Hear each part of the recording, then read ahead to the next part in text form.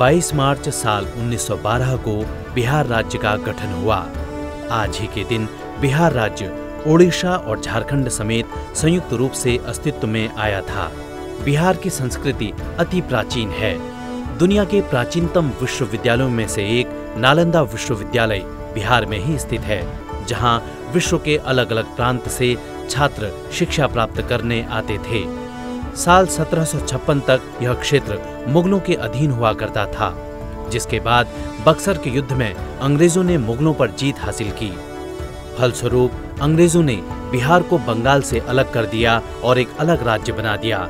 इससे पहले बिहार बंगाल का ही हिस्सा हुआ करता था। प्रथम सिपाही आंदोलन, बक्सर का युद्ध और भारत जोड़ो आंदोलन में बिहार राज्य ने अहम भूमिका निभाई है। बिहार उन प्रमुख राज्यों में से एक है जिसने गणतंत्र पद्धति की शुरुआत की थी।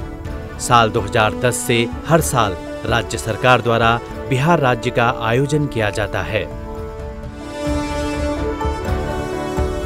22 मार्च साल उन्नीस से विश्व जल दिवस मनाने की शुरुआत हुई।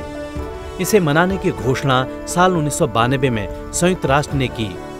यह दिन पानी के महत्व पर ध्यान केंद्रित करने के बारे में है। तीन दिवसीय संयुक्त राष्ट्र 2023 जल सम्मेलन न्यूयॉर्क में शुरू होगा। इस वर्ष संयुक्त राष्ट्र के पर्यवेक्षण का ध्यान जल और स्वच्छता संकट को हल करने के लिए त्वरित परिवर्तन थीम पर आधारित है। यह अभियान लोगों को अपने जीवन में पानी के उपयोग, उपभोग और प्रबंधन के बारे में प्रोत्साहित करता है।